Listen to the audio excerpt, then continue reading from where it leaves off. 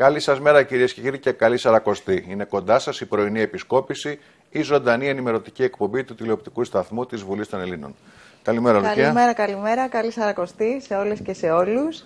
Νομίζουμε ότι είναι, εγώ νομίζω ότι είναι Δευτέρα σήμερα πάντως. Ναι, οπότε τρώμε τη μία μέρα, φάγαμε την Αυτό. Έχουμε και το επόμενο τρίμηνο βέβαια, 25η. Βγαίνει πιο εύκολα αυτή η εβδομάδα, θα βγει άνετα. Έχουμε τα θέματα της ε, επικαιρότητας, τα οποία θα συζητήσουμε με τους δύο βουλευτές ε, Ναι. που είναι. Θα έχουμε σε λίγο κοντά μας την κυρία Γιώτα Πούλου από τον ε, ΣΥΡΙΖΑ και τον νομό Βιωτίας και τον κύριο Γιώργο Στήλιο από τη Νέα Δημοκρατία και τον νομό Άρτας. Να πάμε στα θέματα που έχουμε προγραμματίσει και τα ρεπορτάζ ε, από το κοινοβουλευτικό Κοινοβούλιο. ε, κομμάτι που και μετά θα πάμε στο πολιτικό. που Θα συζητήσουμε με τους Ναι, βουλευτές. και να περάσουμε λίγο Την στο, Επιτροπή στο έργο των Παραγωγής. Επιτροπών, στην Επιτροπή Παραγωγής και Εμπορίου. Εκεί λοιπόν ο Υπουργός Πολιτικής Προστασίας και Κλιματικής Κρίσης, ο κύριος Βασίλης Κικίλιας, ε, παρουσίασε το πρόγραμμα αγοράς 7 πυροσβεστικών αεροσκαφών τελευταίας τεχνολογίας έως το 2030. Πάμε να δούμε τι είπε.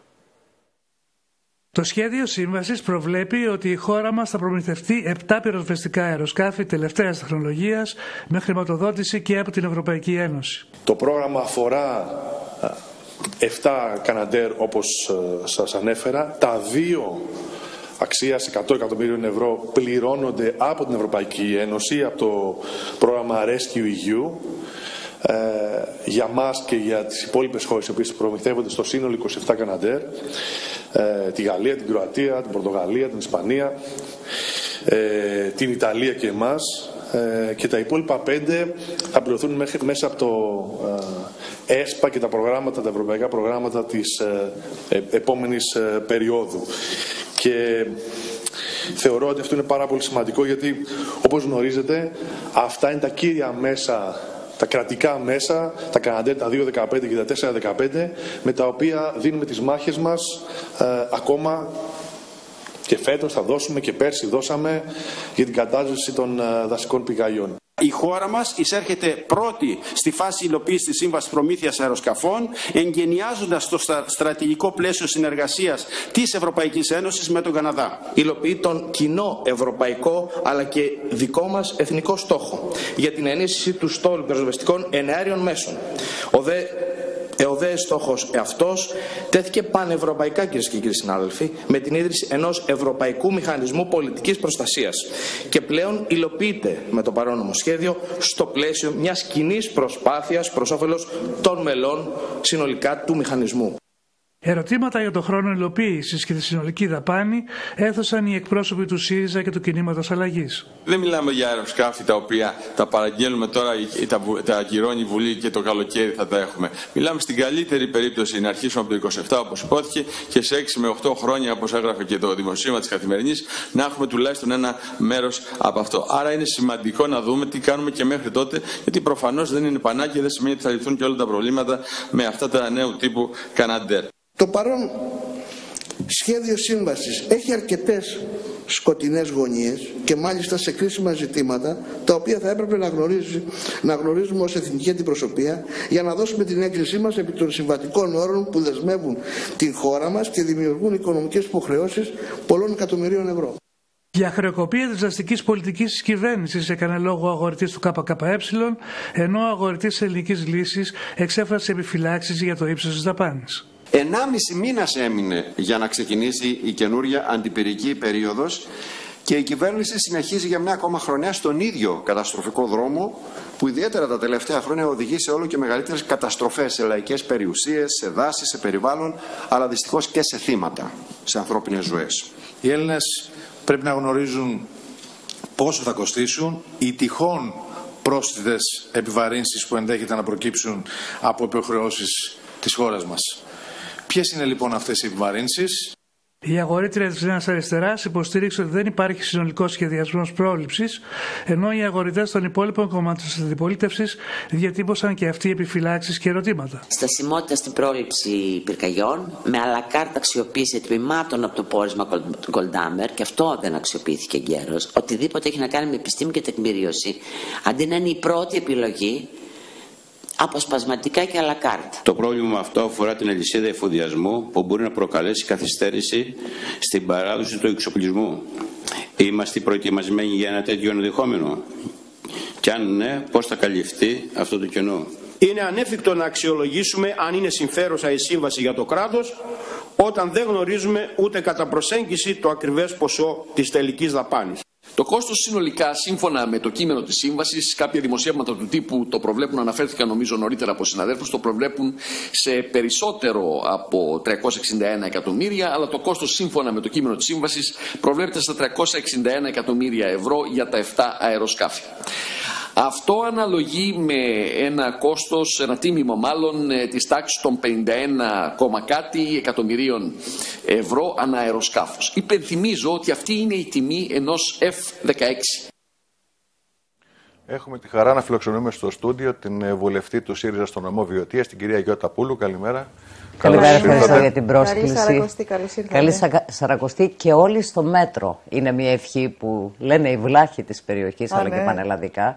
Και βεβαίως εννοούν ότι και του χρόνου να μην λείψει κανείς, να είμαστε όλοι παρόντες. Ωραία Είναι ευχή, μια κυρία πολύ ωραία Πούλου. ευχή. Και του χρόνου στο Πραγματικά. μέτρο, λοιπόν. Μιας και έχετε και το βλάχικο γάμο εκεί, δεν ξέρω. θα- Ναι, ναι. θα- Χθες στη Θήβα ήταν πραγματικά πολύ μεγάλη συμμετοχή. Ο κόσμος ήταν έξω, ήταν και καλή ημέρα εχθές, ανοιξιάτικη ημέρα.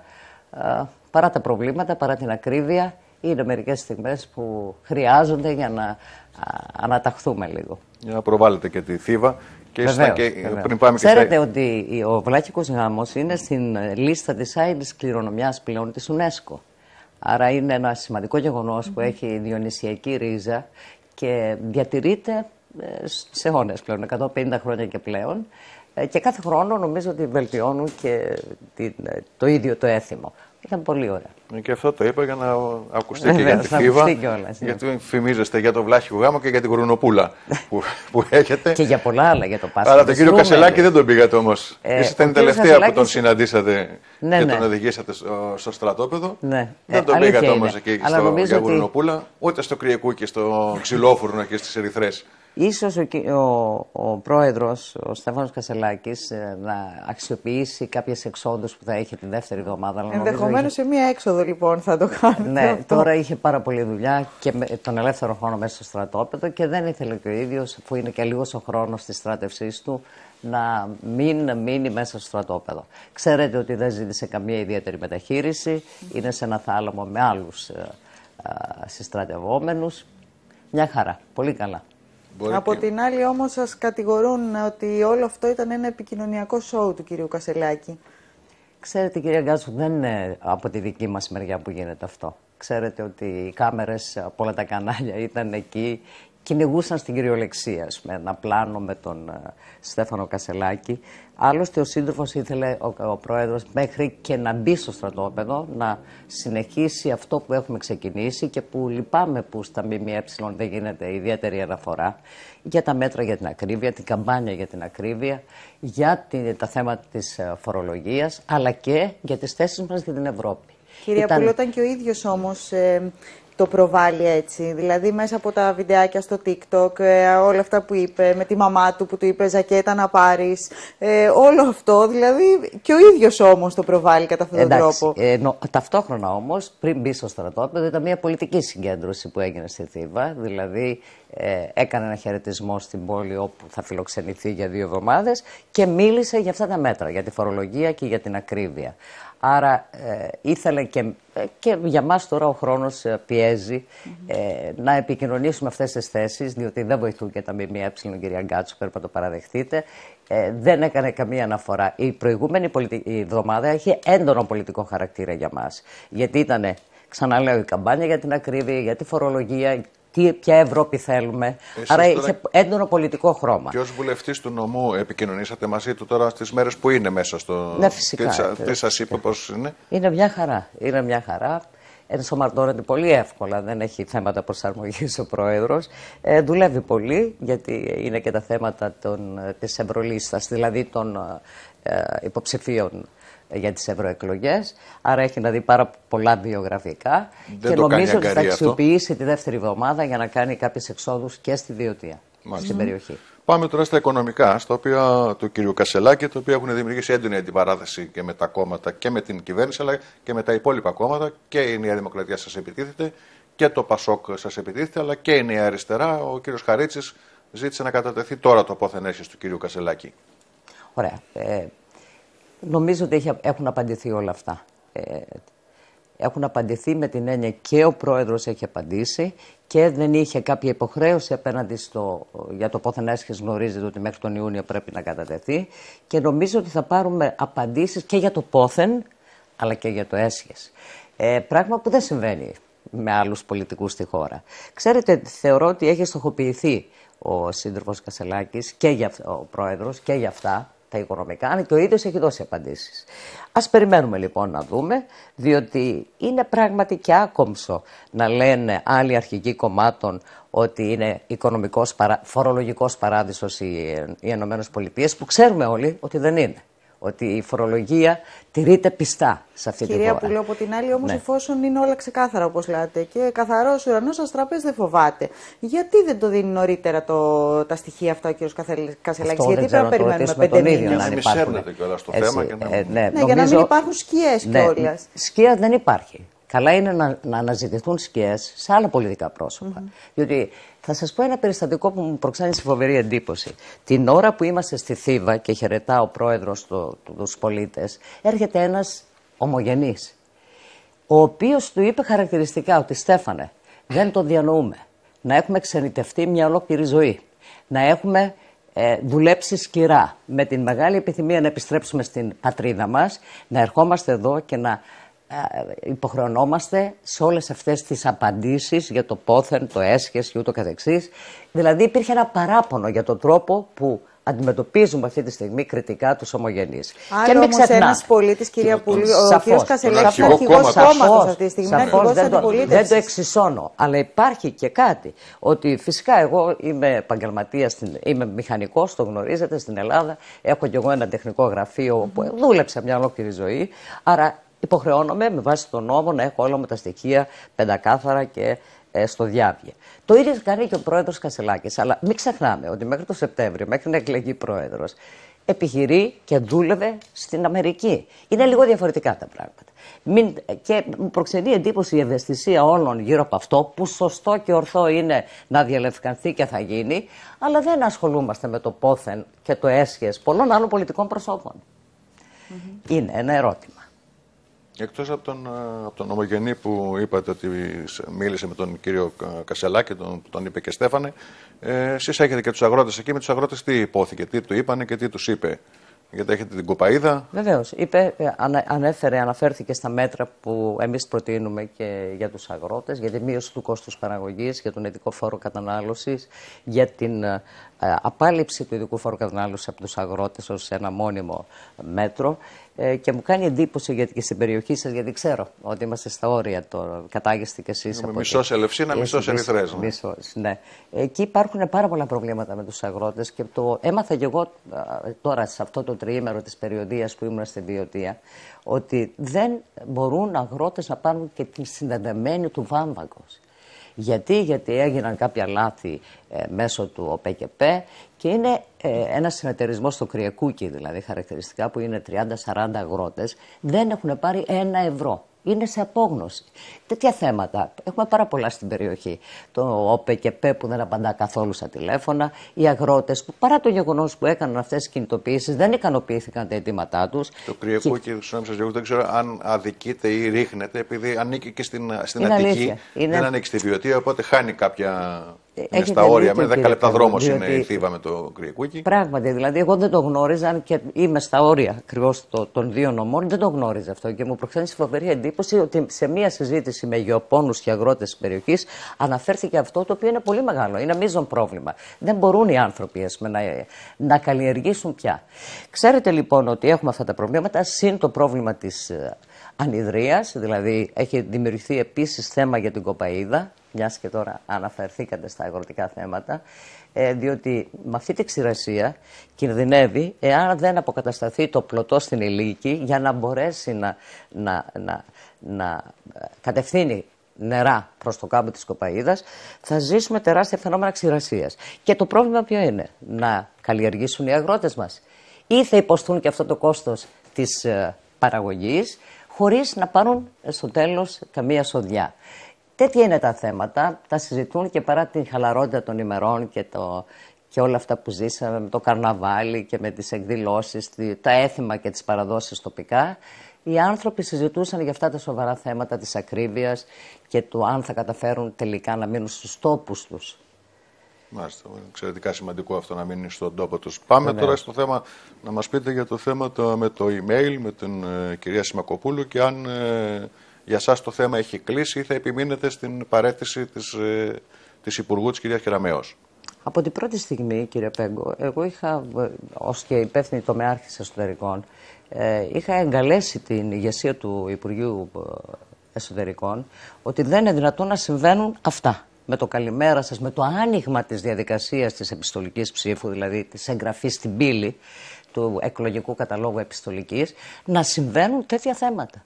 Καταλαβαίνετε ότι αρχίζει μια αμφιβολία και σενάρια για τη διαβλητότητα του συστήματος. Άρα λοιπόν είχαμε πει ότι το ηγεσία του ΙΠΕΣ πρέπει να δώσει εξηγήσεις, κυρία Κεραμέως, εν προκειμένου. Είχαμε απευθυνθεί στην αρχή προστασίας δεδομένων προσωπικού χαρακτήρα στον κύριο Μενουδάκο, ως ΣΥΡΙΖΑ. Και βεβαίως ακούσαμε ότι ε, ε, παρενέβη και η δικαιοσύνη. Ε, Κυρία έχουμε... οι παρετήσεις ε, δεν είναι αρκετές αυτές που έχουν ήδη. Θα πρέπει να εξηγήσουν. Η πολιτική ηγεσία έχει την ευθύνη ακόμα και της παρέτησης. Όταν παρε... Παρε... Παρε... δεν παρετήθηκαν από μόνοι τους, προφανώς υπήρξε μία απόφαση. Γιατί λοιπόν παρετήθηκαν, έπραξαν αυτοί το λάθος; Δεν έχουμε αυτή τη στιγμή. Είπε η κυρία Κεραμέο ότι θα προβεί σε έναν εσωτερικό έλεγχο. Άρα περιμένουμε τα αποτελέσματα του ελέγχου αυτού. Να μας πει τι έγινε και γιατί ανάγκασε σε παρετήσεις ε, είτε τον το Γενικό Γραμματέα, είτε τον Γραμματέα του απόδημου, των Αποδήμων που, της Νέας Δημοκρατίας, τον κύριο Θεοδωρόπουλο. Άρα, οι ευθύνες εξακολουθούν να υπάρχουν και πρέπει να απαντήσει η κυρία Κεραμέως ως αρμόδια υπουργός για το τι ακριβώς συνέβη. Γιατί ακούσαμε πάρα πολλά σενάρια. Άλλωστε, την προηγούμενη εβδομάδα έκανα και μια επίκαιρη ερώτηση και ήρθε αντί να έρθει η κυρία Κεραμέως να απαντήσει ως αρμόδια υπουργός, ήρθε ο κύριος Λιβάνιος, αναπληρωτής. Διευκρίνησε ένα θέμα που είναι αρκετά λεπτό. Ότι δεν υπάρχουν δύο κατάλογοι, ένας είναι ο κατάλογος. Αυτό γνωρίζαμε κι εμείς. Ότι ο κατάλογος των εκλογών του 23 των εθνικών εκλογών και η εγγραφή ε, ομογενών και αποδήμων σε αυτό για την επιστολική ψήφο και μέχρι τότε. Σήμερα έχουμε 30 αγωγές. Ήταν μία, έχουν Ακριβώς. γίνει 30. Άρα λοιπόν, απήντησε ότι ο κατάλογος είναι ένας, γιατί υπήρχε μια διαρροή ότι και καλά είναι δύο οι κατάλογοι. Άρα εκεί μπορεί να γίνει κάποιο θέμα. Και δεύτερον είναι αυτό που είπατε, οι καταγγελίες που είχαν φτάσει και σε εμάς, κυρία Γκάτσου, αλλά και στην ε, ανεξάρτητη αρχή ήταν πάρα πολλές ε, εκατοντάδων δηλαδή ε, ομογενών ή αποδήμων ε, και νομίζω ότι ήδη προχωρούν και ορθά στο να υπερασπιστούν τα, τα δικαιώματά τους. Ε, με δικαστικές αγωγές δηλαδή. Πιστεύω όμως επίσης ότι και επειδή η Ευρωπαϊκή Ένωση έχει ένα πολύ αυστηρό πλαίσιο όσον αφορά την προστασία των δεδομένων των Ευρωπαίων πολιτών, ότι θα έχουμε και από εκεί εξέλιξη. Και χαρακτηριστικά είπα στον κύριο Υπουργό, στον κύριο Λιβάνιο, ότι φοβάμαι ότι για μία ακόμα φορά θα μάθουμε το τι συμβαίνει στην Ελλάδα από την Ευρώπη. Θέμα αλλίωσης βάζετε εσείς, ότι υπάρχει κίνδυνος αλλίωσης ακόμα και αποτελέσματος όταν υπάρχουν αυτές οι διαρροές; Κύριε Πέγκο, εμείς είχαμε προτείνει στη συζήτηση του νομοσχεδίου, όπου είχαμε θετικά ανταποκριθεί, δηλαδή σε όλες τις συζητήσεις που έγιναν στην ε, Επιτροπή Επεξεργασίας του Νομοσχεδίου, ήμασταν θετικοί, με πολλές προτάσεις. Και επειδή το χειρίστηκα και προσωπικά ως εισηγητής από την πλευρά του ΣΥΡΙΖΑ, καταθέσαμε τρεις τροπολογίες καταθέσαμε τροποποιήσεις σε 8 συγκεκριμένα άρθρα, τα οποία είχαν γκρίζες περιοχές και ζώνες, για να αποφευθούν όλα αυτά τα προβλήματα. Άρα πιστεύετε ότι δικαιώνεστε αυτή τη στιγμή; Φυσικά δικαιωνόμαστε. Γιατί είχαμε προτείνει, κυρία Γκάτσου, τη δημιουργία ανεξάρτητης αρχής για τις ε, εκλογές. Σε όλα τα κράτη της Ευρώπης, στα περισσότερα μάλλον, για να είμαι ακριβής, δεν, δεν, δεν ε, ασχολείται το αντίστοιχο Υπουργείο. Υπάρχει μια ανεξάρτητη αρχή αρμόδια για τις εκλογικές διαδικασίες. Ένα είναι αυτό που δίνει δηλαδή μια άλλη ε, βαρύτητα και μια άλλη ε, ε, διασφαλίζει αν θέλετε με διαφορετικό τρόπο. Το δεύτερο είναι ότι είχαμε προτείνει και ειδική επιτροπή, να δημιουργηθεί μια ειδική επιτροπή όπου θα εκπροσωπούνταν κόμματα, ανεξάρτητες αρχές, ο συνήγορος του πολίτη, που θα είχε την ευθύνη του εκλογικού καταλόγου της επιστολικής. Οπότε δεν θα είχαμε αυτή τη στιγμή όλα αυτά να βαρύνουν, αν θέλετε, την πολιτική ηγεσία του ΙΠΕΣ. Θα είχε μια ε, διαφάνεια στη λειτουργία της αυτή η Επιτροπή και μια ανεξαρτησία. Ε, Δυστυχώς δεν εισακουστήκαμε και να τα αποτελέσματα. Και αυτό που είναι πολύ σημαντικό τώρα είναι, είναι, είναι όλη αυτή η δυσπιστία ε, για τη διαβλητότητα του, του, των ευρωεκλογών, όλης της διαδικασίας mm. εκλογικής. Έχω την άποψη ότι ο Υπουργός θα πρέπει να δώσει εξηγήσεις, διαφορετικά πρέπει να παραιτηθεί. Διότι δεν αρκεί να παραιτηθείτε ο Γενικός Γραμματέας.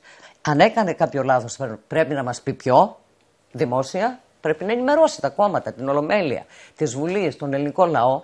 Διαφορετικά πρέπει να αναλάβει την πολιτική ευθύνη.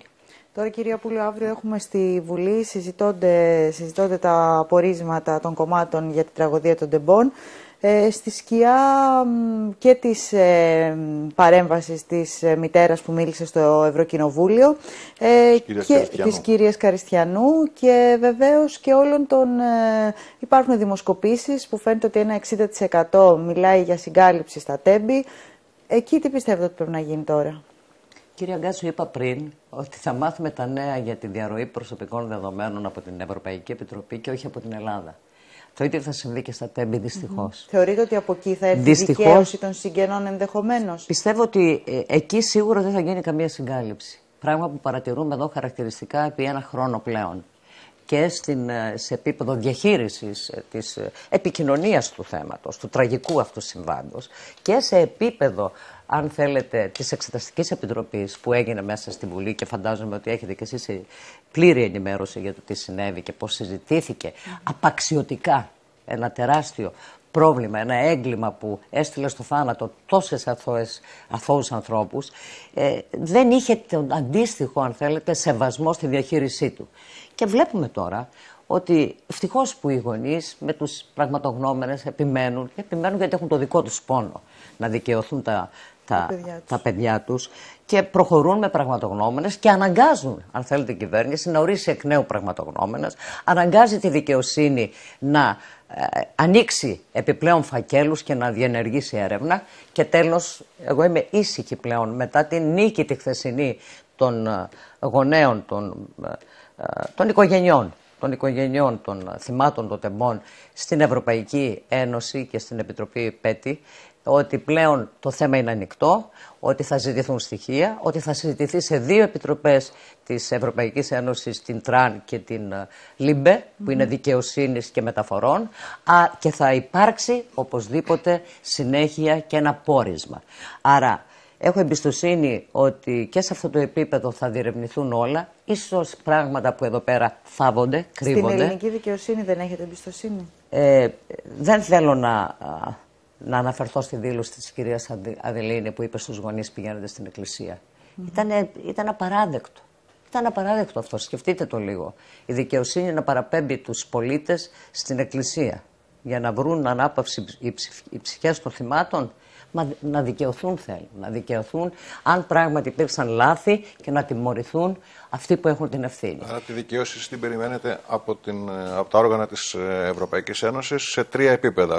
Και σε, στο θέμα των υποκλοπών και στο θέμα των ε, τεμπών και στο θέμα των διαρροών με το email. Κύριε Πέγκο, δεν είμαστε στα καλύτερά μας ως χώρα. Ε, ξέρετε ότι αυτά τα, τα ψηφίσματα του Ευρωπαϊκού Κοινοβουλίου που καταδικάζουν τη χώρα μας για τα θέματα ακριβώς της ε, δημοκρατίας, της λειτουργίας της δημοκρατίας αλλά και της, και της τήρησης του κράτους δικαίου δεν νομίζω ότι μας κάνει χαρούμενους κανένα. Κανέναν, ούτε εμάς. Δεν ε, έχουμε μια τέτοια άποψη για την αντιπολίτευση που πρέπει να κάνουμε. Ε, όμως συστηματικά βλέπουμε ότι και με τις υποκλοπές δεν υπήρχε μετά από τόσο καιρό κανένα αποτέλεσμα. Ακόμα δεν έχουν διευκρινιστεί τι έγινε. Ποιοι ήταν οι άνθρωποι που παρακολουθούνταν. Ταιριάζουν οι λίστες τη ΕΕΠ με αυτή του Πρέταντορ. Έχουν μείνει όλα ανοιχτά. Άρα και στο θέμα της, ε, της διαχείρισης ε, του χρόνου, των κομμάτων, της ελεύθερης άποψης στα ΜΜΕ, ξέρετε τη θέση που είμαστε σε επίπεδο ελευθερίας του τύπου, στη χειραγώγηση που γίνεται, θα έλεγα, από τη μεριά της κυβέρνησης, ε, και στο θέμα τώρα το, του, του εγκλήματος των τεμπών, πρέπει να ο λαός, ο ελληνικός λαός να πάρει απαντήσεις, ξεκάθαρες απαντήσεις. Και νομίζω ότι αν θέλετε και στις ευρωεκλογές πηγαίνοντας, αυτό θα είναι το σημαντικό θέμα. Το θέμα των τεμπών, το οποίο για ένα χρόνο μπορεί να θαύτηκε μαζί με τα μπάζα της περιοχής εκεί, του, του δυστυχήματος, θα δείτε ότι αυτό θα ξεσηκώσει τον κόσμο, διότι δεν μπορεί να, να, ε, να δέχεται μια τέτοια κοροϊδία για ένα τόσο σοβαρό και ευαίσθητο θέμα. Ε, αυτό που είπα κάποια στιγμή είναι ότι υπάρχει μια κοινωνική πλέον αντιπολίτευση. Ένα εκατομμύριο τριακόσιες υπογραφές δεν μαζεύονται τυχαία. Και νομίζω ότι αυτό είναι ένα πολύ σημαντικό ε, μέγεθος να αναγκάσει και την ελληνική κυβέρνηση, εμάς εδώ στο Κοινοβούλιο, να, λάβουμε τη, να, να, να, να δημιουργήσει η κυβέρνηση προκειμένου τον εφαρμοστικό νόμο, έτσι ώστε να μπορεί να γίνεται νόμος, δηλαδή μια λαϊκή παρέμβαση που μπορεί να δημιουργήσει ένα νόμο και αναφέρομαι στα περί ευθύνης υπουργών. Να μας σχολιάσετε και τις δημοσκοπήσεις που πλέον σας βρίσκουν στη δεύτερη θέση ε, και να μου πείτε για το ποιο είναι το όριο που βάζετε πλέον τον πύχη στις ευρωεκλογές. Γιατί κατά καιρό την έχετε ψηλό αλλάξει.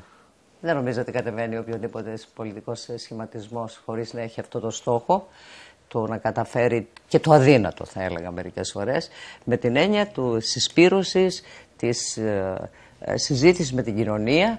Και νομίζω ότι ο ΣΥΡΙΖΑ, Προοδευτική Συμμαχία, κύριε Πέγκο, είναι σε μια φάση τώρα που έχουμε αφήσει, έχει αφήσει πίσω όλες αυτές τα προβλήματα που όλο ένα και θα υπάρχουν. Διότι ζωντανοί οργανισμοί είναι και τα κόμματα, έτσι. Με ανθρώπους αποτελούνται, με ιδέες, με απόψει. Θα έχετε αφήσει πίσω, κυρία Πούλου, ή Όσον έχετε κάνει τα... πούμε, μια εσωτερική ανακοχή μέχρι τις ευρωεκλογές και μετά θα αρχίσει πάλι όχι, όχι, όχι, η ένταση; Ε, νομίζω, κυρία Γκάτσου, και θα το έχει διαπιστώσει ότι και σε επίπεδο κοινοβουλίου και παρουσίας της ομάδας κοινοβουλευτικής ομάδας παράγουμε πραγματικά πολύ άργο. Ανεξάρτητα αν φαίνεται ή δεν φαίνεται. Δείτε το.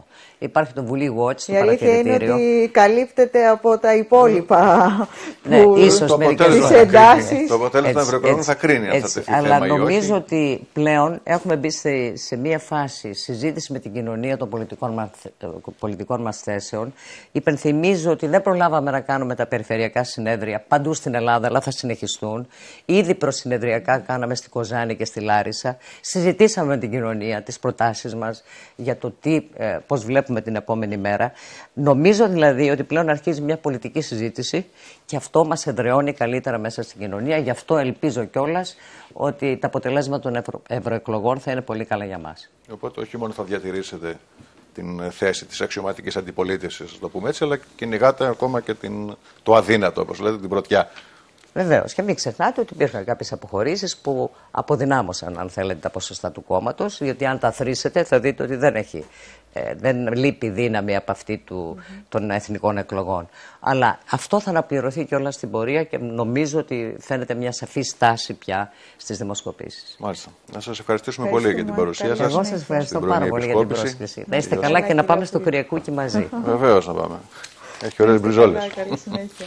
Λοιπόν, ε, να και πάμε. Εμείς, ε, να προχωρήσουμε, πάμε λίγο να δούμε τι συζητήθηκε κατά τον ε, κοινοβουλευτικό έλεγχο και τις επίκαιρες ερωτήσεις για σοβαρή καταστρατήγηση των στοιχειωδών κανόνων που αφορούν την υγεία και την ασφάλεια των εργαζομένων στην Τράπεζα Πυραιός, έκανε λόγο βουλευτής της Νέας Αριστεράς, Νάσος Ηλιόπουλος.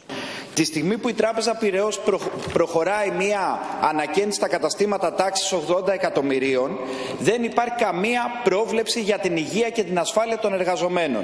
Σε τι αναφέρομαι; Οι εργαζόμενοι υποχρεώνονται να εργάζονται σε ακατάλληλες και μη εργονομικές θέσεις εργασίας, σε καναπέδες και τραπεζάκια. Υπάρχουν φωτογραφίες φωτογραφίε, αν τις δείτε, δεν βλέπεις εργαζόμενο σε τράπεζα, βλέπεις πελάτη στην εστίαση.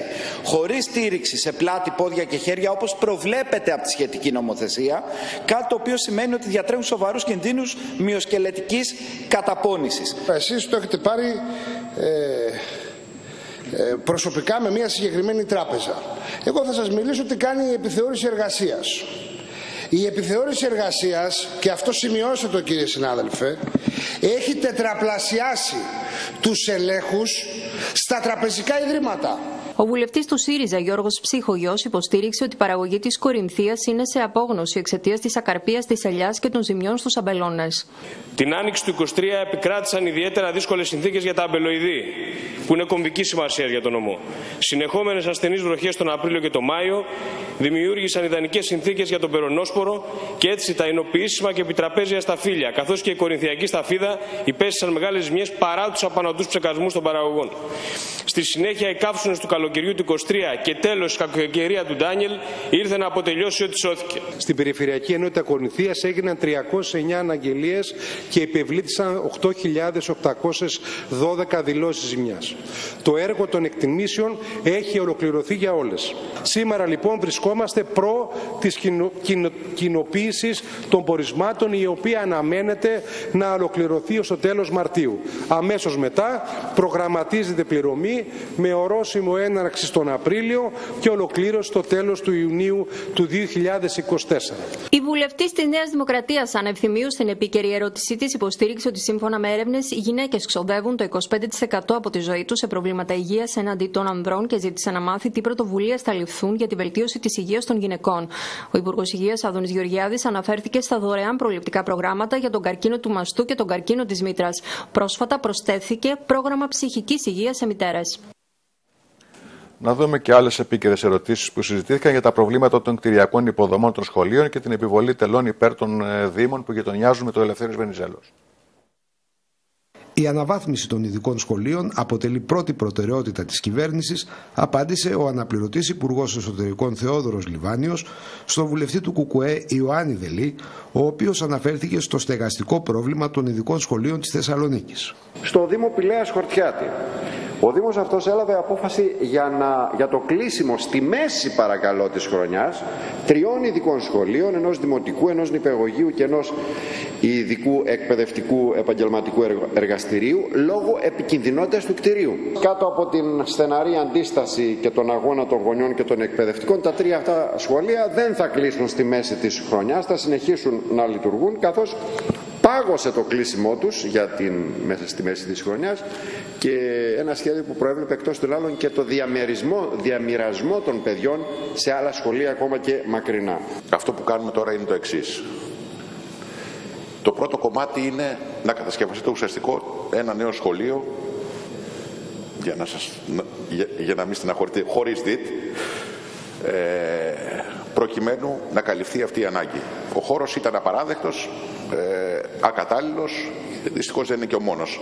Με ευχαίρεια να σας πω ότι από διάφορες μετακινήσεις και κάποιες εξοικονομήσεις από άλλα έργα του προγράμματος Αντώνης Τρίτσης, τρία σχολεία σημαντικά, τα δύο εκ των οποίων είναι ειδικά σχολεία, εντάσσονται ε, για χρηματοδότηση περίπου ύψους γύρω στα 26-27 εκατομμύρια ευρώ. Είναι το ειδικό σχολείο στο Ρέθινο, στα Νέα Μουδανιά, και ε, το πειραματικό σχολείο, η μεταστέγαση του πειραματικού σχολείου των Ιωαννίνων σε ένα καινούριο χώρο, στο χώρο του Πανεπιστημίου. Στα λειτουργικά προβλήματα των σχολείων, λόγω της μεταφοράς των αρμοδιοτήτων των σχολικών επιτροπών στην αυτοδιοίκηση, αφορούσε και η ερώτηση της βουλευτού της Πλεύσης Ελευθερίας Ελένης Καραγεωργοπούλου. Δεν υπάρχει καμία πρόνοια ώστε να μην μείνουν ξαφνικά χωρίς υλικά τα σχολεία, ακόμα και για τις πανελλαδικές. Και είναι πραγματικά πρόβλημα αυτό και δεν ξέρω πώς, με ποιον τρόπο θα ενεργοποιήσετε τους ελέγχους και με τι είδους κυρώσεις, σε πάση περιπτώσει, οι αρμόδιοι δήμοι στην περίπτωση που δεν ανταπεξέρχονται στο καθήκον αυτό που επιβάλλεται με τη νέα νομοθεσία του νόμου 5056 ε, και θα έχει επιπτώσεις στα ίδια τα παιδιά μας. Δεν νομίζω ότι η αυτοδιοίκηση είναι σε αυτό το επίπεδο. Η αυτοδιοίκηση είναι αυτοδιοίκηση. Κρίνεται από τους δημότες που μένουν εκεί πέρα. Αν ο Δήμαρχος κάνει σωστά τη δουλειά του, θα κριθεί ευνοϊκά από τους ψηφοφόρους. Αν δεν την κάνει σωστά, θα καταψηφιστεί. Το είδαμε αυτό στις εκλογές του ε, Οκτωβρίου του 2023, όπως και σε όλες τις προηγούμενες αυτοδιοικητικές εκλογές. Είναι κατεξοχήν μια αρμοδιότητα την οποία την έχει η τοπική αυτοδιοίκηση και σωστά την έχει γιατί είναι τοπική υπόθεση. Το σχολείο είναι τοπική υπόθεση, δεν είναι. Ο κύριος Λιβάνιος απάντησε στη συνέχεια σε άλλη ερώτηση της κυρίας Καραγεωργοπούλου, η οποία ζήτησε την επιβολή στην εταιρεία του αεροδρομίου Ελευθέριος Βενιζέλος ανταποδοτικού τέλους υπέρ των όμορων Δήμων. Θα πρέπει οπωσδήποτε ε, να συμπεριλάβετε ζητήματα που δημιουργούνται από την λειτουργία του ελληνικού ε, αεροδρομίου σε βάρος των όμορων δήμων, όπως είναι έστω αν δεν υπάγεται σε αυτά τα Υπουργεία η αρμοδιότητα, θα πρέπει να ληφθεί υπόψη στο θέμα των ανταποδοτικών τελών, όπως είναι ζητήματα ηχορύπανσης, περιβαλλοντικής ρήπανσης, ε, ζητήματα ακόμα ανασφάλειας που δημιουργούνται στους κατοίκους. Προφανώς εισπράτεται από τους όμορους δήμους τα ήδη θεσμοθετημένα τέλη, όπως είναι το ΤΑΠ ε, ή ο, ο φόρος για τα ηλεκτροδετούμενα, αλλά Ε, επιμένω ότι χρειάζεται μια συνόηση των τριών Υπουργείων σε συνεργασία με τους όμορους Δήμους στην περιοχή του αεροδρόμιου, προκειμένου να βρεθεί βέλτιστη λύση να διασφαλίζει κυρίως την ασφάλεια και με υπό το φως και της νέας σύμβασης, την ασφάλεια των τελών που επιβάλλουν, ε, μπορούν να επιβάλλουν οι όμορφοι προκειμένου να είμαστε μπροστά σε μια δυσάρεστη κατάσταση, πάλι να υπάρχει ακύρωση με δικαστηρίου και να αναγκαστούμε ως ελληνικό κράτος, συμπεριλαμβανομένης και της τοπικής αυτοδιοίκησης, να επιστρέψει σημαντικά ποσά πίσω, εφόσον έχει αποφασίσει διαφορετικά η ελληνική δικαιοσύνη.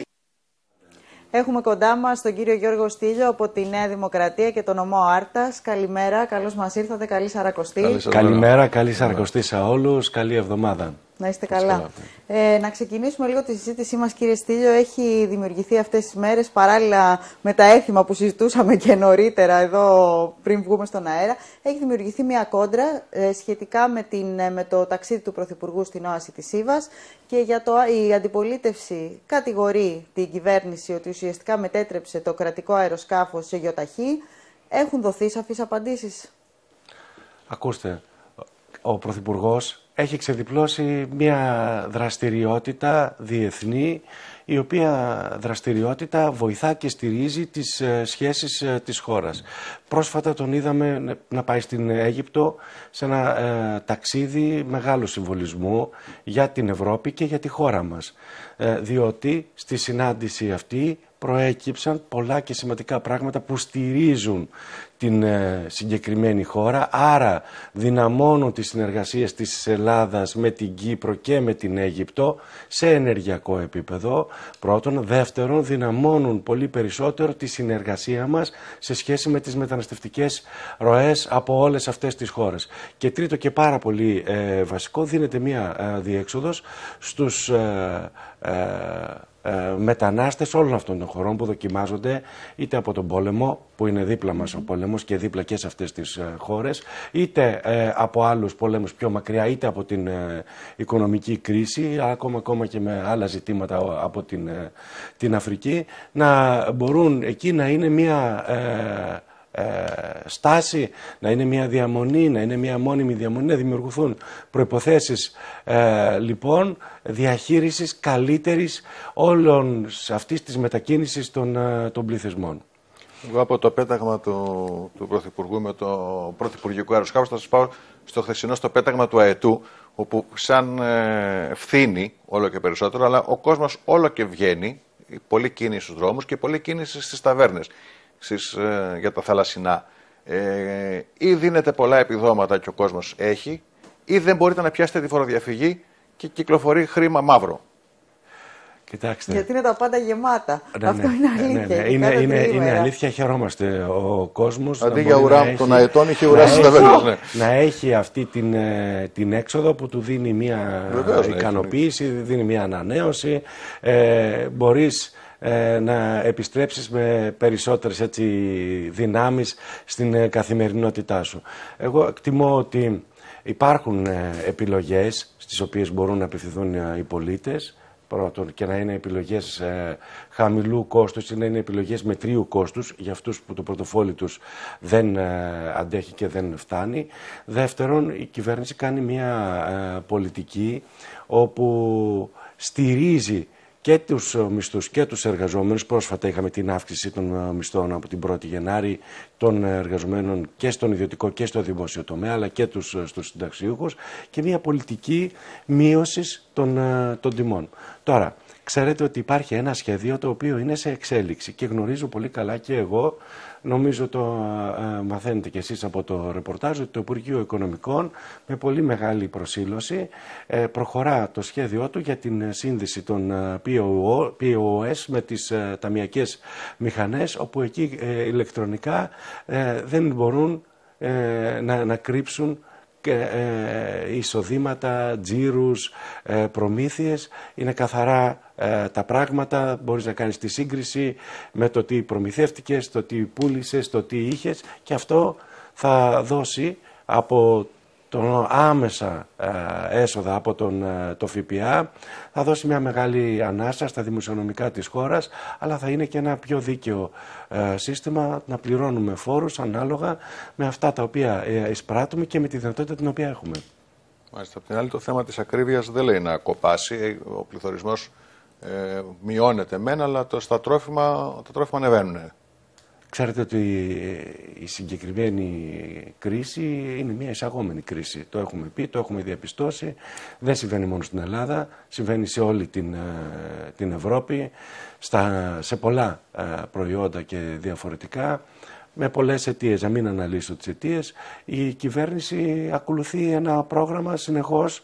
Έχουμε ανακοινώσεις από το Υπουργείο ε, Ανάπτυξης, έχουμε μειώσεις τιμών, έχουμε στο καλάθι τώρα του της Αρακοστής, που είναι επέκταση του καλαθιού του νοικοκυριού, έχουμε ελέγχους, συστηματικούς, εντατικούς ε, ελέγχους, έχουμε πρόστιμα, για να, κάποιοι, να, μην έχουμε, να, να υπάρχει και η τιμωρία, να γνωρίζουν ότι υπάρχει και η ποινή και η τιμωρία.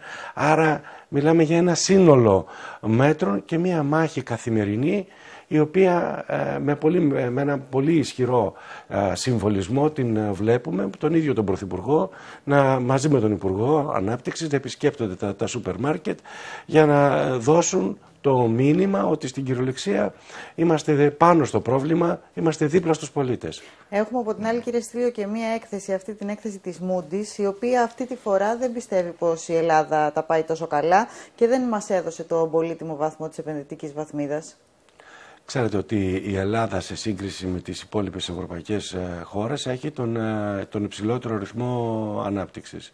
Ένα είναι αυτό. Το δεύτερο είναι ότι είμαστε ακόμα στο... δεν κλείσαμε το πρώτο τρίμηνο ε, του χρόνου όπου σε πολλά επενδυτικά προγράμματα πάμε περίπου όπως το σιρτάκι, λίγο αργά στην αρχή και μετά πολύ γρήγορα στο τέλος και όπου αυξάνονται και, και οι απορροφήσεις αλλά και τα ποσά τα οποία ε, απορροφούνται και έχουμε μεγαλύτερη απορρόφηση. Άρα θα έλεγα να περιμένουμε προς το δεύτερο το εξάμεινο, στο δεύτερο εξάμεινο του 24. Ε, στο τσάμικο πήγαμε καλά για τώρα προχθές, στα, στα κούλουμα. Ε, το, το απολαύσαμε, είδαμε τους φίλους μας να το λεντάνε. Άρα θα έλεγα στα, σε σχέση με τα, τα επενδυτικά να περιμένουμε μετά το δεύτερο εξάμεινο Νομίζω έτσι κινείται και το Υπουργείο Οικονομικών και το Υπουργείο Οικονομίας ε, σε σχέση με τις ε, απορροφήσεις. Ε, τα μηνύματα για την ελληνική οικονομία είναι ισχυρά και δυνατά από παντού και το ενδιαφέρον, το επενδυτικό, το ιδιωτικό επενδυτικό ενδιαφέρον είναι στραμμένο στη χώρα μας και από το εξωτερικό αλλά και από τους Έλληνες επενδυτές, η μόχλευση των κεφαλαίων των οποίων δίνει μια πολύ μεγάλη και ουσιαστική ανάσα στην ελληνική οικονομία. Απ' την άλλη, η αντιπολίτευση σας κατηγορεί ότι αν δεν κάνετε ελέγχους στις μεγάλες αλυσίδες και αν δεν πατάξετε και την φοροδιαφύγη γενικότερα, ε, κάποιο κόσμο τον έχετε υποβάλει σε μόνιμη σαρακοστή. Ναι.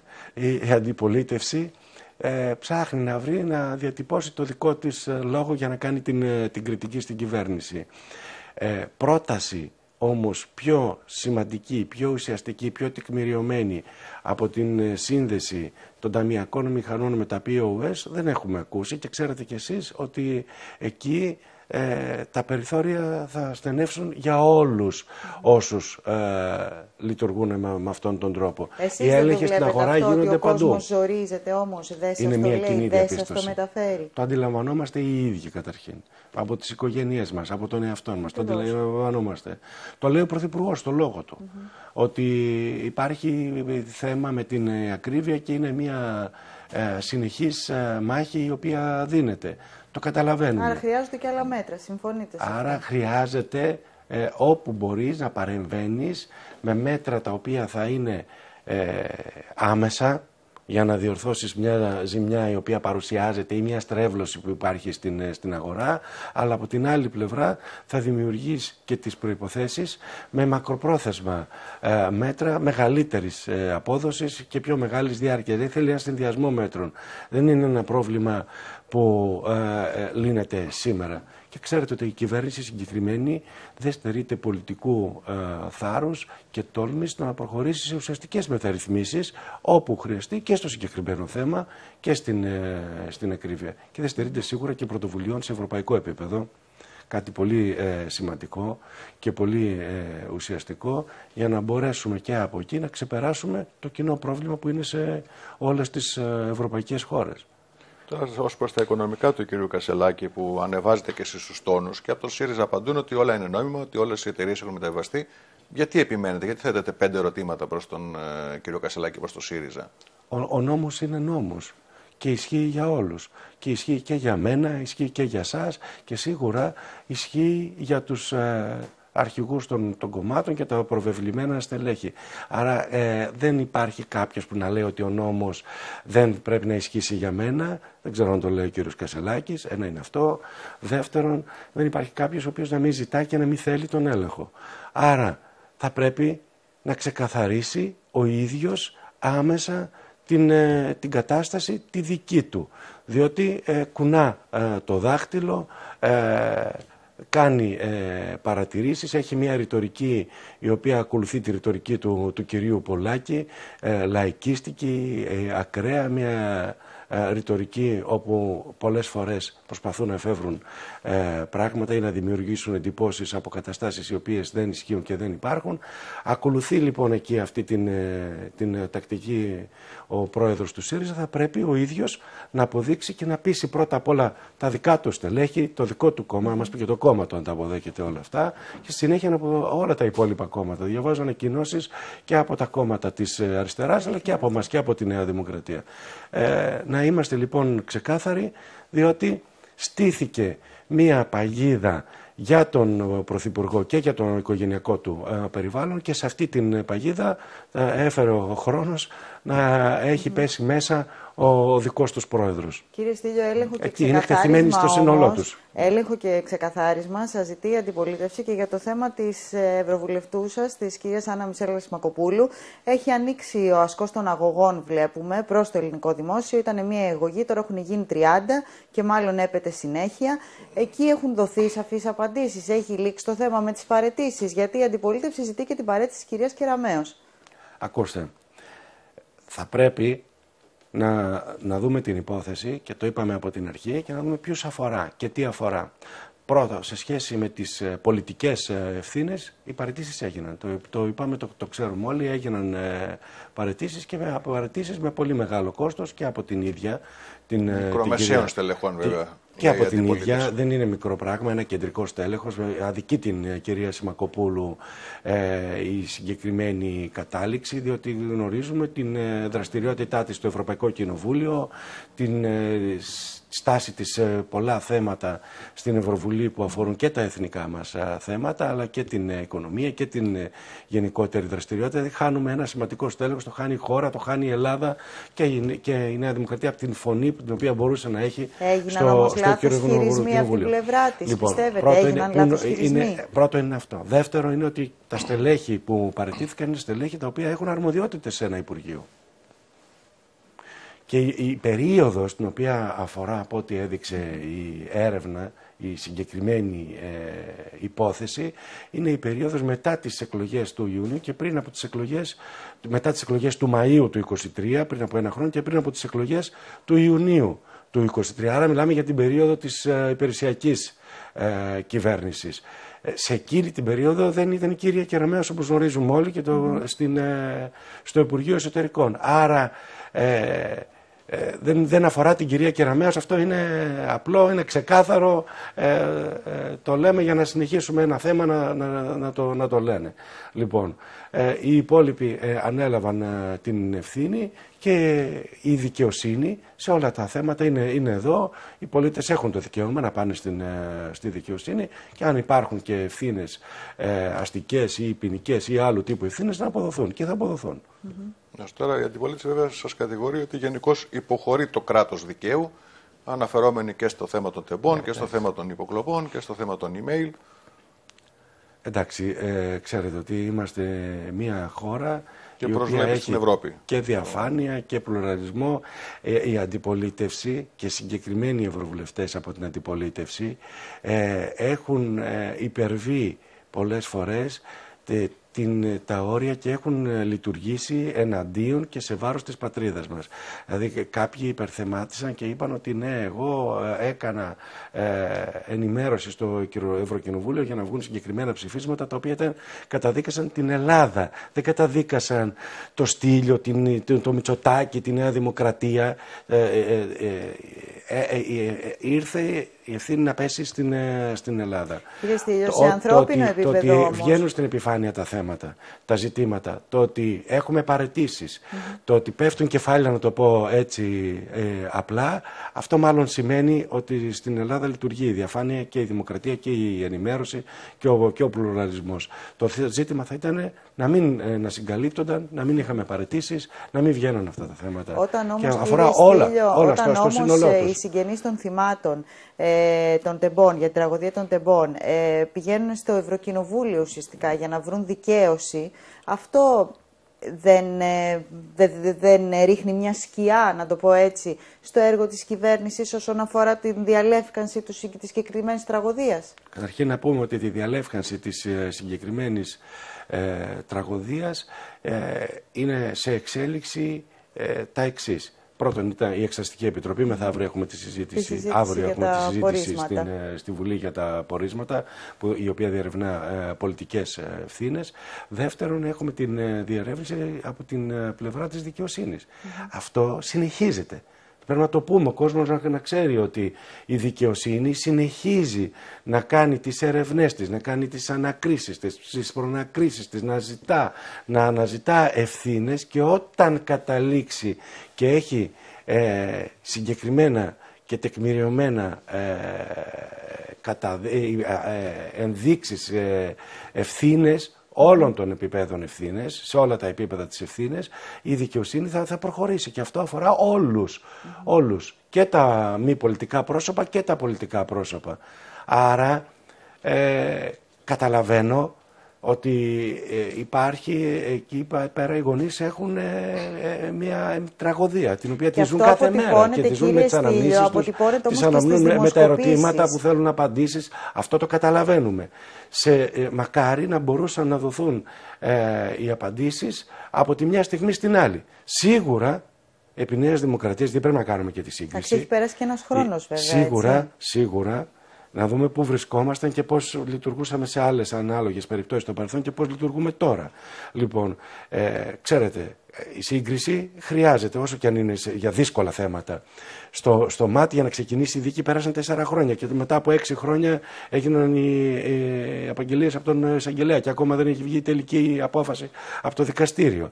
Ε, η κυβέρνηση έχει ε, δεσμευτεί ότι θα διευκολύνει το έργο της ε, δικαιοσύνης ε, να προχωρήσει η δίκη άμεσα και να μην έχουμε κατάληξη ε, μετά από πο- πολύ μεγάλο χρονικό διάστημα. Να έχουμε πολύ πιο σύντομα, δηλαδή και πολύ πιο γρήγορα.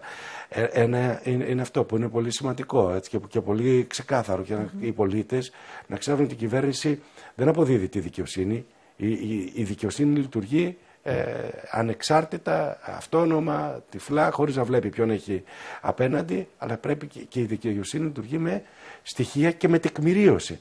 Δηλαδή δεν- δεν μπορούμε ε, εύκολα να, να, να καταδικάζουμε, ούτε εύκολα να θώνουμε κόσμο.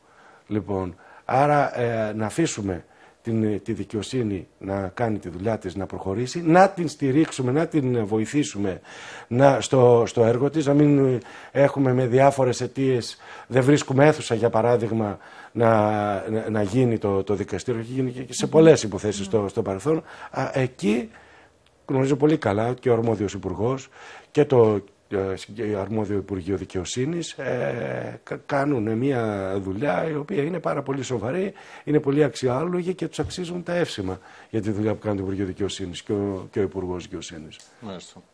Έθεσε ένα ερώτημα για τις Άρα δημοσκοπήσεις. προχωρά, δηλαδή η Ο- κυβέρνηση κάνει αυτό που πρέπει, η δικαιοσύνη ε, προχωρά, αντιλαμβάνομαι και α- αλίμονο αν δεν μπορούσε ο, σαν ο, ο καθένας από εμάς να, να αντιληφθεί το Εγώ απλά μέγεθος σας λέω αυτής ότι- της ότι όλη τραγωδίας αυτή- και τον πόνο ότι όλη που αυτή η έχει ο καθένας και τον βιώνει και δυσαρέσκεια- από όλη μόνος αυτή η του. δυσαρέσκεια όσον αφορά το θέμα των τεμπών ε, αποτυπώνεται και στις δημοσκοπήσεις. Δηλαδή ένα 60-65% κάνει λόγο για συγκάλυψη στο θέμα αυτό. Καταλαβαίνω την ευαισθησία της κοινής γνώμης σε- στο συγκεκριμένο θέμα. Είχαμε 57, 57 παιδιά, 57 νέα, νέα παιδιά. Ε, ε, σε, σε αυτό δεν, δεν μπορώ να πω κάτι άλλο, κάτι περισσότερο. Ε, ε, θυμίζω ε, ότι εκείνο που είναι δικιά μας έτσι, ευθύνη και με μεγάλη ευθύνη είναι να, να φτιάξουμε και τα τεχνικά χαρακτηριστικά και τα τεχνικά συστήματα που χρειάζονται και να τρέξουμε όλες τις διαδικασίες γρήγορα, αλλά και να εκπαιδευτεί όλο το, το προσωπικό, διότι πάντοτε παίζει ρόλο ο, ο, άνθρωπος, ο ανθρώπινος παράγοντας, το ανθρώπινο λάθος, ε, για να μην ξανασυμβεί ε, να μην ξανασυμβούν ατυχήματα και οπουδήποτε και στα τρένα και, στη, και σε, σε άλλα μέσα μεταφοράς. Ε, και γενικότερα να φροντίσουμε να έχουμε όλοι μας και με τη συνείδησή μας και με την, ε, την εκπαίδευσή μας και με την, ε, το χαρακτήρα μας ε, και με την συμπεριφορά μας να έχουμε λιγότερα, λιγότερα ατυχήματα. και δεν το αφήνω γενικά, ναι. έτσι. Λέω πρώτα απ' όλα αυτοί οι οποίοι εργάζονται, δουλεύουν πάνω εκεί, πληρώνονται από τον Έλληνα πολίτη, γιατί αυτή είναι η δουλειά τους, αυτό, αυτή είναι η ευθύνη τους, αυτό είναι το καθήκον τους, θα πρέπει να έχουν πολύ μεγαλύτερη και ε, συνείδηση, αλλά να έχουν και πολύ μεγαλύτερη προσοχή είχαμε στο, πάλι στο έργο τους, στη δουλειά τους δηλαδή, για την οποία πληρώνονται κιόλας. Είχαμε πάλι αυτές τις μέρες επεισόδια στο Αριστοτέλειο Πανεπιστήμιο Θεσσαλονίκης και μάλιστα μία παρολίγο τραγωδία, καθώ κουκουλοφόροι χτύπησαν με αλυσοπρίωνο χώρο όπου υπήρχε πυρηνικός αντιδραστήρας. Δηλαδή, βλέπουμε ότι κάποια πράγματα δεν αλλάζουν όσον αφορά τη φύλαξη αυτών των χώρων. Ε, είναι, είναι ένα μεγάλο θέμα.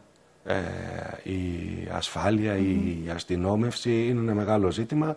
Περιμένουμε να έχουμε αποτελέσματα στο συγκεκριμένο θέμα, να το διαχειριστούμε επί της ουσίας ε, και όχι με επικοινωνιακούς, ε, με επικοινωνιακούς Επειδή ακούμε όμως όλα αυτά τα χρόνια ότι πρέπει στα πανεπιστήμια να μπουν αυτά τα περίφημα τουρνικέ που έχουμε ακούσει και γενικά να υπάρχει φύλαξη με την πανεπιστημιακή αστυνομία δεν έγινε κάτι όπως είδαμε και βλέπουμε ότι αυτοί οι χώροι παραμένουν αφύλακτοι.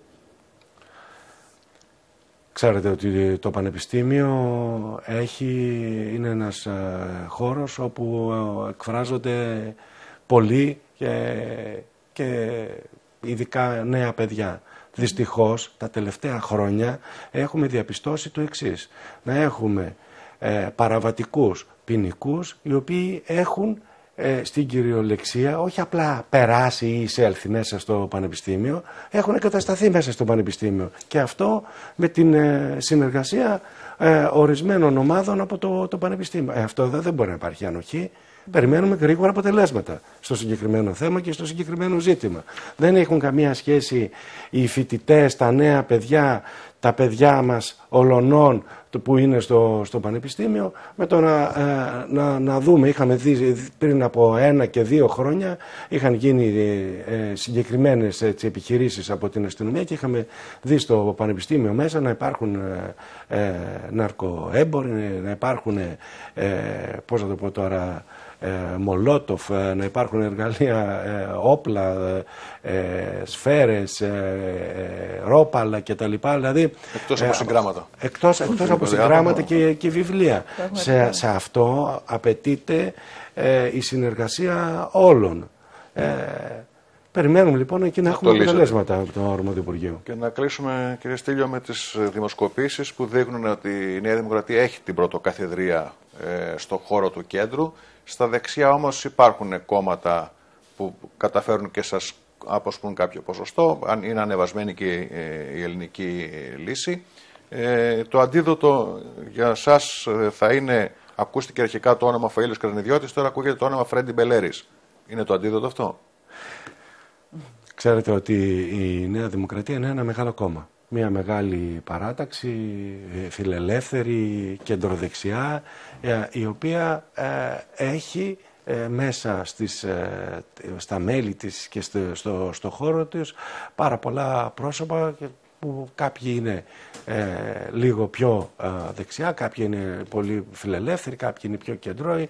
Άρα είναι ένα μεγάλο κόμμα, πολυσυλλεκτικό κόμμα που εκφράζει την ε, πλειοψηφία αυτή Ο Δήμαρχος Κιμάρας πρέπει να είναι στο Ευρωπαϊκό Αυτή η απόφαση δεν, δεν είναι δική μου, ξέρετε. Σαφώς δεν είναι. Ναι, λοιπόν, είναι μια απόφαση του, του Πρωθυπουργού, είναι μια απόφαση όπου θα το σταθμίσουν και θα το δουν. Εγώ εκείνο το οποίο ξέρω και το λέω παντού είναι ότι στην, ε, στη Νέα Δημοκρατία ένα μεγάλο κεντροδεξιό κόμμα που στηρίζει τις ε, αρχές της και τις αξίες της, είναι ένα κόμμα πατριωτικό, είναι ένα κόμμα όπου έχει Χρειάζεται όμως μια τόνωση αυτή τη στιγμή για να, για να σταματήσετε τις διαρροές προς τα άκρα δεξιά. Γνωρίζουν ότι η Νέα Δημοκρατία είναι ένα παραδοσιακό κόμμα που ε, έχει συγκεκριμένες αξίες και αρχές σε σχέση με τα πιστεύω της και για την χώρα και για τα εθνικά μας θέματα και για την οικονομία και για την ασφάλεια και η έκφρασή της μέσα από τη Νέα Δημοκρατία και δεν έχει αλλάξει και δεν έχει αλλοιωθεί ίσα ίσα ε, πολύ ε, ισχυρά σας θυμίζω. Πρόσφατα ας πούμε πριν από δύο-τρία χρόνια όταν χρειάστηκε οι απαντήσεις δόθηκαν στο σύνολο της χώρας για την, ε, για την ασφάλεια και για την εθνική μας άμυνα. Και θυμίζω ότι η Νέα Δημοκρατία είναι αυτή η οποία ξεδίπλωσε μια ε, πολιτική στην, ε, για την χώρα όπου με διεθνείς στρατηγικές συμμαχίες θωράκισε τη χώρα συνολικότερα με ε, συγκεκριμένες ε, κινήσεις σε σχέση με εξαγορά των ε, εξοπλιστικών προγραμμάτων θωράκισε και αμυντικά τη χώρα να την έχουμε θωρακίσει αμυντικά. Άρα έχουμε μια ε, κυβέρνηση η οποία εκφράζει το σύνολο της ε, κέντρο-δεξιάς και νομίζω ότι μέχρι στις ε, ευρωεκλογές έχουμε αρκετό χρόνο από εδώ και στο εξής τρεις μήνες, μεγάλος ο πολιτικός χρόνος αυτός οι τρεις μήνες, ξάλλου ο κόσμος το τελευταίο μήνα είναι που ε, ε, έτσι αρχίζει και μπαίνει πιο κοντά σε κλίμα εκλογών και αποφασίζει και τι θα ψηφίσει, οπότε ε, θεωρώ ότι η Νέα Δημοκρατία τον κόσμο της θα τον ξανασυσπυρώσει, θα τον, ε, ε ξανα, ε, θα τον εκφράσει, θα του ξαναθυμίσουμε όλα όσα έχουμε κάνει στο παρελθόν και ό,τι πρόκειται να κάνουμε στο μέλλον. Θα τον ε, εκφράσουμε και θα, μας, θα ξανακερδίσουμε την εμπιστοσύνη του. Θα εργαστούμε πάνω σε αυτή την, την κατεύθυνση και νομίζω ότι θα τα καταφέρουμε, ότι βλέπουμε ότι είναι το μόνο μεγάλο και ε, ο μόνος σοβαρός, ε, ο πιο σοβαρός πολιτικός και πρωθυπουργός που υπάρχει αυτή τη στιγμή ε, στην ώρα, στη χώρα από τις επιλογές που έχει ο κόσμος είναι ο Κυριάκος Μητσοτάκης. Αυτό Κύριε Στήλιο, σας ευχαριστούμε πάρα πολύ, για τη συζήτηση που είχαμε. Να είστε καλά, καλή συνέχεια. Καλή και εμείς στο Κάποια σημείο άλλα αυτό, θέματα δεν τα πρόλαβα θα, θα τα έχεις αύριο Αύριο εσύ. θα τα έχουμε τα θέματα, θα τα παίξουμε όλα αύριο στις 8.30 το πρωί. Να είστε καλά, καλή συνέχεια σε όλους. Καλημέρα. Καλή σας μέρα.